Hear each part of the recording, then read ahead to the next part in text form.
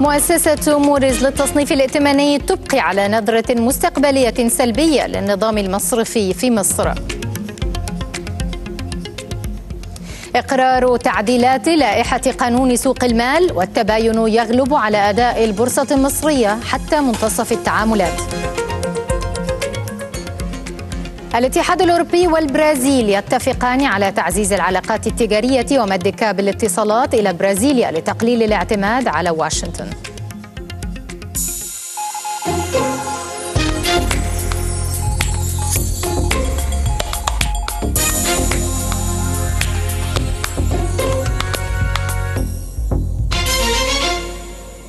أهلا بكم مشاهدينا في هذه النشرة الاقتصادية المفصلة. تأتيكم من النيل الاخباريه وإلى التفاصيل حيث أبقت وكالة موديز للتصنيفات الائتمانية النظره المستقبلية للنظام المصرفي المصري سلبية.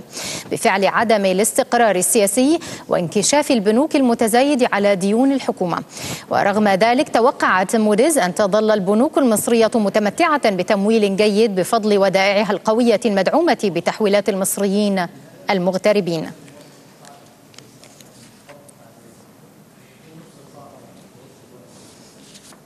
على نظرة مستقبلية سلبية للنظام المصرفي في مصر.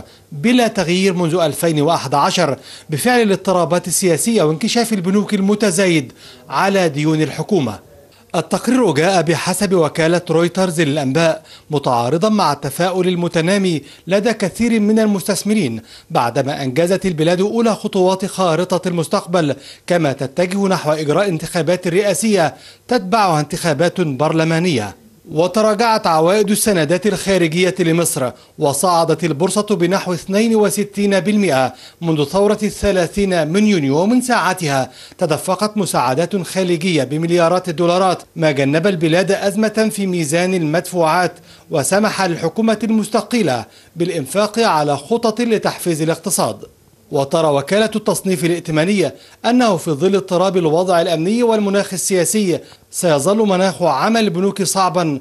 والسبب في ذلك هو أن النظرة المستقبلية للاستثمار الأجنبي والسياحة وثقة المستثمرين ما زالت ضعيفة وهو ما يؤدي إلى ضعف النمو الائتماني البنوك والحد من أنشطتها. وتتوقع وكالة التصنيف الائتماني نمو الناتج المحلي الإجمالي المصري 2.6% فقط في 2014 دون المستوى البالغ نحو 5% الذي يرى كثير من المحللين أنه ضروري لخفض مستوى البطالة المرتفع ورغم ذلك توقعت موديز أن تظل البنوك المصرية متمتعة بتمويل جيد بفضل ودائعها القوية المدعومة بتحويلات المصريين المغتربين. ومن شأن ذلك أن يجنب البنوك الاعتماد على تمويلات أكثر خطورة من الأسواق المحلية أو الخارجية. وفي الشهر الماضي رفعت وكالة فيتش النظرة المستقبلية لتصنيفها لمصر إلى مستقرة من سالبة غير أنها قالت إن الوضع المالي العام يظل نقطة الضعف الرئيسية في سجل الائتمان السيادي للبلاد. محمود العزالي النيل. أعلن رئيس هيئة الرقابة المالية شريف سامي أن وزير الاستثمار أقر تعديلات اللائحة التنفيذية لقانون سوق المال قبل ساعات من استقالة الحكومة.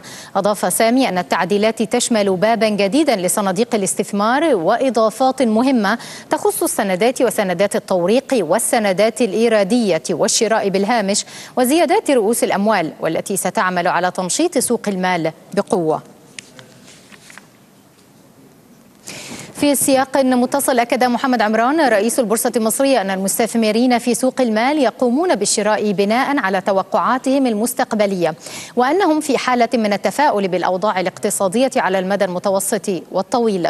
على صعيد التداول تباين أداء مؤشرات البورصة المصرية حتى منتصف التداولات فبينما اتجه المؤشر الرئيس للبورصة المصرية للارتفاع تراجع مؤشر الأسهم الصغيرة والمتوسطة.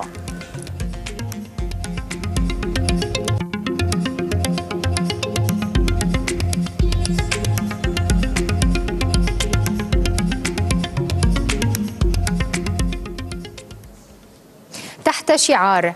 الإصلاح التنظيمي للخدمات المالية غير المصرفية. عقد مؤتمر تحت رعاية الهيئة العامة للرقابة المالية. يهدف المؤتمر إلى مناقشة سبل إصلاح لوائح التمويل العقاري ومناقشة التحديات التي تواجه هذا السوق. بهدف تنشيط القطاعات المالية غير المصرفية عقد مؤتمر الإصلاح التنظيمي للخدمات المالية بمشاركة الهيئة العامة للرقابة المالية والبورصة المصرية.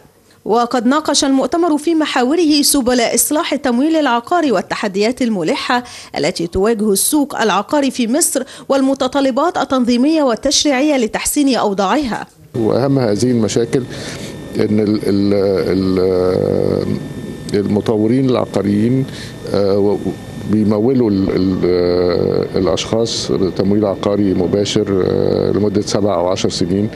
وده طبعا بياخد من دور شركات التمويل العقاري. بالتالي لازم يتم تنسيق بين بين الشركات التطوير العقاري وبين شركات التمويل العقاري وبين البنوك. كما تطرق المؤتمر إلى قضايا قطاع التأمين وإعادة التأمين والفرص في السوق المتغيرة. اشتغل مع الشركات ومع اتحاد التأمين إنه نطلع قانون جديد آه لمواكبة المنتجات الجديدة اللي بتطلع آه عشان نستحدث حاجة اسمها التأمين متناهي الصغر. اللي هو التأمين الشعبي بأقساط بسيطة زائد إن إحنا في سعي عام إنه يبقى مصر فيها شركة وطنية لإعادة التأمين. وقد سلط المؤتمر الضوء على مشروع قانون التمويل متناهي الصغر الجديد وأثاره وكيفية تحقيق أكبر استفادة منه للطبقات الفقيرة. إلى جانب أثر السياسة التنظيمية للتمويل الصغير ومتناهي الصغر على القطاع المصرفي والمؤسسات المالية غير المصرفية. هذا القطاع لديه القدرة على خلق فرص العمل والدخل وبالتالي رفع حدة الفقر. ويمكن في في مصر مجال واسع جدا أكثر من المتواجد حاليا لإقراض المشروعات وتمويل المشروعات متناهية الصغر وهناك فجوة تمويلية متواجدة وبالأخص في محافظات الصعيد. إصلاح مناخ الاستثمار في مصر يقتضي بصورة عاجلة مراجعة وتعديل القوانين والتشريعات المحفزة للاستثمار وذلك حتى يتمكن الاقتصاد الوطني من الخروج من النفق الضيق الذي يمر به. نهى إسماعيل النيل.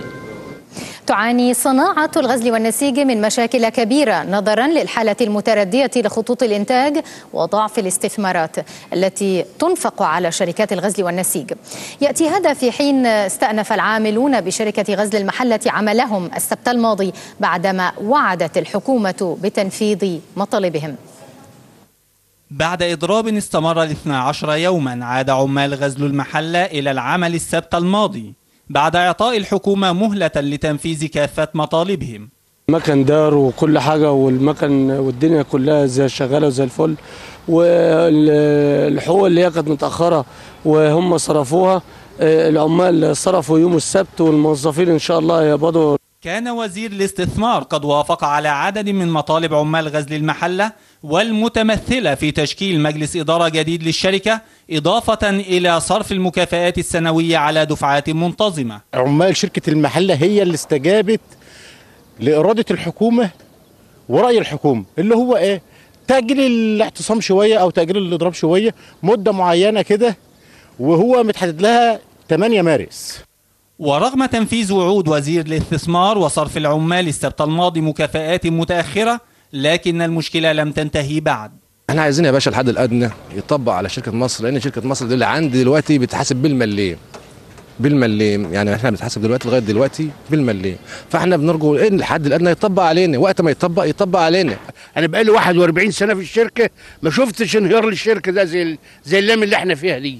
بناشد الدولة مسؤولين الشر... مسؤولين الدولة إنها تتقي ربنا في الشركة وتتجنب مشاكل العمال أنتوا اللي العمال لها حقوق حددوا لهم الحقوق دي. العمال كلهم رجعوا كلنا رجعنا لشغلنا الحمد لله وكله بدأ الشغل باستقرار ورسالتهم الحمد لله وصلت لكل المسؤولين وما كانوش مطالب فئوية زي ما الدولة بصت لها لكن هي كانت مطالب آه عايزين مش عايزين يقفوا تاني ويطالب عمال غزل المحلة بضخ مزيد من الاستثمارات لإعادة تشغيل المصنع بدلا من تشغيل الثلث فقط بسبب ضعف التمويل. عادت الحياة إلى طبيعتها وعاد عمال غزل المحلة إلى عنابرهم بعد أن حلت الحكومة بعض المشاكل الآنية وتأجيل البعض الآخر. من داخل مصنع غزل المحلة صابر السكري النيل. وإلى الأردن حيث أعلنت وزارة العمل هناك بأن فترة تقنين الأوضاع الجديدة للعمالة المصرية في الأردن والبالغة 60 يوما ستبدأ بعد الحصول على قرار موافقة من مجلس الوزراء الأردني. قالت الوزارة إنه تم الاتفاق خلال اجتماعات الدورة الرابعة والعشرين للجنة المصرية الأردنية العليا المشتركة بالقاهرة على منح العمال الذين لم يستفيدوا من المهل السابقة مهلة قدرها 60 يوما لتنظيم أوضاعهم بشكل قانوني اتفق الاتحاد الأوروبي والبرازيل على مد كابل اتصالات تحت الماء من مدينة لشبونة إلى مدينة فورتاليزا البرازيلية وذلك لتقليل الاعتماد على الولايات المتحدة في أعقاب تقارير ذكرت أن واشنطن تجسست على برازيليا. جاء ذلك في ختام قمة أوروبية برازيلية بمقر المفوضية الأوروبية في بروكسل ركزت على التعاون الاقتصادي والتجاري. لحماية مرور الإنترنت في البرازيل من المراقبة الأمريكية. اتفق الاتحاد الأوروبي والبرازيل على مد كابلات اتصالات تحت الماء من مدينة لشبونة إلى مدينة فورتليزا البرازيلية. وخلال قمة برازيلية أوروبية بمقر المفوضية الأوروبية في بروكسل ناقش الجانبان أمن المعلومات والخصوصية في اتصالات الإنترنت. في أعقاب تقارير ذكرت أن واشنطن تجسست على البرازيل. وركزت القمة على القضايا الاقتصادية والعلاقات التجارية وإعطاء دفعة جديدة لمحادثاتهما التجارية طويلة المدى. البرازيل والاتحاد الأوروبي سيصبحان قريبا جدا في موقف يتيح مناقشة التنازلات التجارية. أعتقد أننا اقتربنا من تحقيق هذا الهدف لأول مرة فالكل مدرك لأهمية هذا الاتفاق التجاري. المفوضية الأوروبية من جانبها قالت إن الاتفاق سيؤثر على ما هو أكثر من التجارة لأنه سيسمح بإقامة منطقة اقتصادية بين أوروبا وأمريكا الجنوبية على المدى الطويل. أوروبا تعمل على عقد عدد من الاتفاقيات الثنائية المختلفة وسيكون من المخجل ألا يكون لدينا مثل هذه الاتفاقية الطموحة مع أصدقائنا في البرازيل وتكتل دول أمريكا اللاتينية التجارية. ويعد الاتحاد الأوروبي أهم شريك تجاري للبرازيل حيث يستقبل أكثر من 20% من صادراتها ويعزى إليه أيضا نفس النسبة لواردتها بحسب أرقام المفوضية. لكن المفاوضات بشأن اتفاق شراكة مع تكتل دول أمريكا اللاتينية والذي يعرف باسم ميركسور الذي يرمي إلى تعزيز الصادرات والنمو تقدمت بشكل مضطرب منذ بدء المحادثات في عام 2000 ما زلنا في الاتحاد الأوروبي ولكن في فرنسا حيث أقر البرلمان الفرنسي قانونا جديدا يفرض غرامات على الشركات التي تغلق مصانع لا تزال قادرة على الاستمرار من الناحية الاقتصادية. ويلزم القانون الجديد رئيس أي شركة يعمل بها أكثر من ألف عامل ويريد إغلاق مصنع أن يمضي ثلاثة أشهر اولا في البحث عن مشتري. كما يلزم القانون أي رئيس شركة بدفع غرامة تصل إلى 28 ألف يورو عن كل وظيفة يتم فقدها في شركته بما لا يزيد عن 2% من الدخل السنوي. انخفض سعر صرف اليوان الصيني عن متوسط السعر الرسمي للمرة الأولى منذ شهر سبتمبر 2012 وحدد بنك الشعب الصيني متوسط سعر اليوان مقابل الدولار عند 6.12 وهو أدنى أو أدى إلى تراجع سعر اليوان في سوق الصرف الأجنبي إلى 6.13 بعد أن سجل عند الفتح 6.106 من ألف. مؤسسة موديز للتصنيف الائتماني ارتفاع معدل النمو الضعيف للاقتصاد الهندي بنسبة 5.5% خلال العام المالي المقبل. وأرجعت موديز ذلك لتوقعات بتأجيل تطبيق الإصلاحات الاقتصادية بسبب الانتخابات العامة المقبلة. وتوقعت وكالة التصنيف الائتماني آفاقا سلبية لقطاع تكرير وتسويق المنتجات النفطية في ظل استمرار ضعف هامش أرباح التكرير ومعاناة الشركات من تأخير استرداد فارق دعم المنتجات النفطية. من الحكومة. إلى كوريا الجنوبية حيث أقرت الحكومة الكورية الجنوبية خطة إصلاح اقتصادي لمدة ثلاث سنوات بقيمة 3.9 تريليون وان من أجل تحقيق قفزة اقتصادية كبيرة. تهدف الخطة لزيادة معدل النمو الاقتصادي إلى 4% بحيث ترتفع نسبة التوظيف إلى 70% ويصل نصيب الفرد من الدخل القومي الإجمالي 40 ألف دولار من خلال معالجة ركود القطاع العام وتراجع مستوى القوى العاملة وزيادة الفجوة بين الشركات الكبرى والمتوسطة والصغيرة. نشرتنا انتهت ولم يبقى فيها سوى تذكير بالعناوين. مؤسسة موريز للتصنيف الائتماني تبقي على نظرة